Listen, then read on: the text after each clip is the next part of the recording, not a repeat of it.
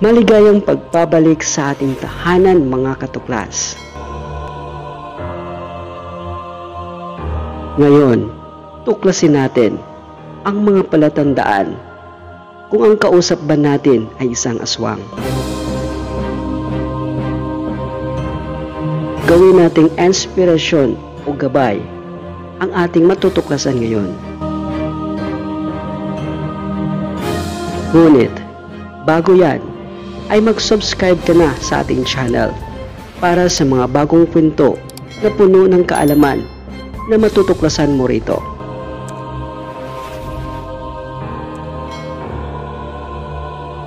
Naniniwala ka ba na totoo ang mga aswang?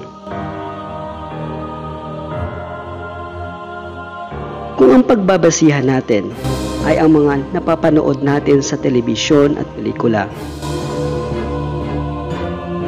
maaari tayong magkaroon ng pagdududa na baka gawa-gawa lamang ito ng malikhaing isip ng mga manunulat.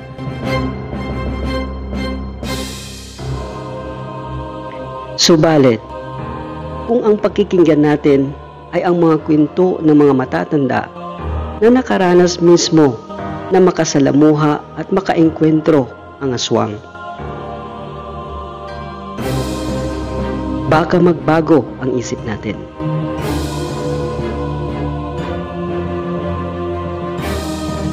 Hindi lamang isa o dalawa ang nakasaksi na ng aswang. Kundi napakaraming tao na na may iba't ibang version.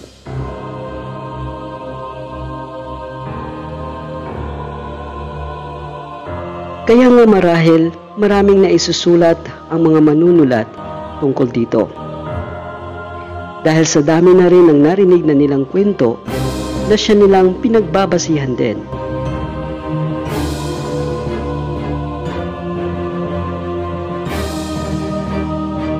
Kung ikaw naman ay hindi pa nakaengkwentro ng aswang o hindi pa nakakita nito,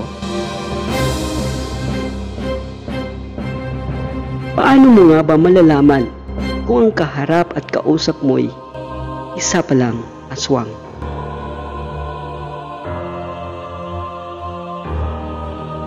Mga katuklas, narito ang mga palatandaan na dapat nating tandaan.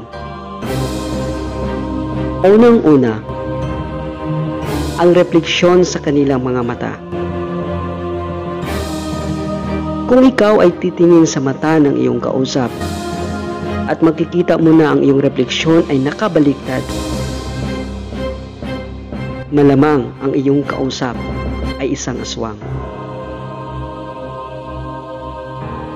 Dahil aswang lamang ang may kakayahan na makapagbaliktad ng refleksyon. Pangalawa, kung napansin mo naman na ang kausap mo ay walang kanal sa pagitan ng ilong at bibig. Yun daw ay isang aswang.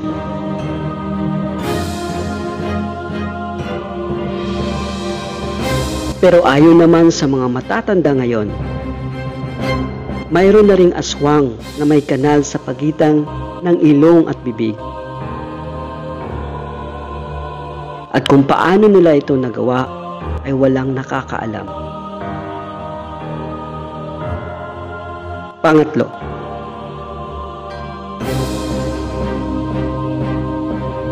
kung ang refleksyon mo ay baliktad sa mata ng aswang,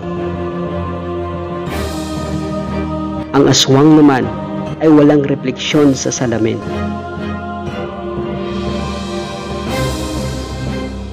Kaya't kung may kakilala kang pinagdududahan mo na isang aswang, magdala ka lang ng salamin at palihim na tingnan kung siya ba ay may refleksyon o wala. Pang-apat, walang anino. Kung nakakaya nilang gayahin ang anyo ng isang tao o isang hayop, Ang anino ang siyang hindi nila nakayang gayahin.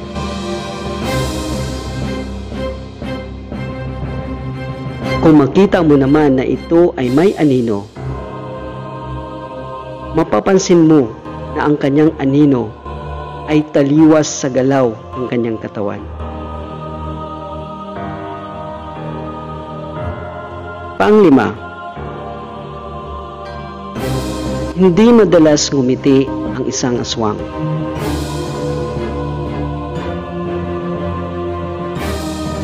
Malimit itong nakapormal ang anyo na animoy laging seryoso.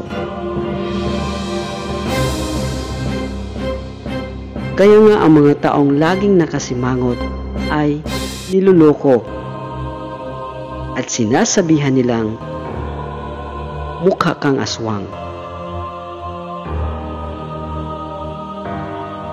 Gayon pa man, aswang man o hindi, ay dapat matuto tayong rumispito. May mga aswang na hindi nila ginustong mabuhay bilang mga aswang. At nananakit lamang sila kapag sila ay nasasaktan din.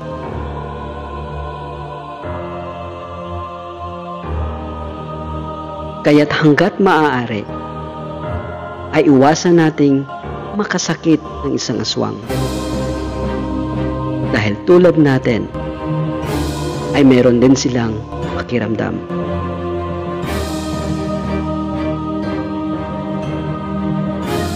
At upang makaiwas naman sa kanilang dalang panganib, ay huwag nating kalimutang magdasal at mag-ingat palagi.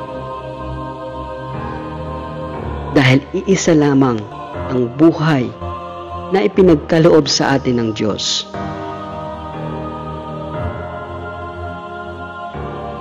Marami namang pangontra sa mga aswang. Tulad ng bawang, asin, at buntot ng pagi. At ugaliin din natin na maging alisto sa lahat ng pagkakataon. At dyan na nagtatapos ang ating pagtuklas ng kwentong puno ng kaalaman sa araw na ito. At huwag mong kalimutang i-like at i-share ang ating video. Hanggang sa muli ay samahan niyo pa rin ako sa panibago nating pagtuklas. Stay safe and God bless everyone.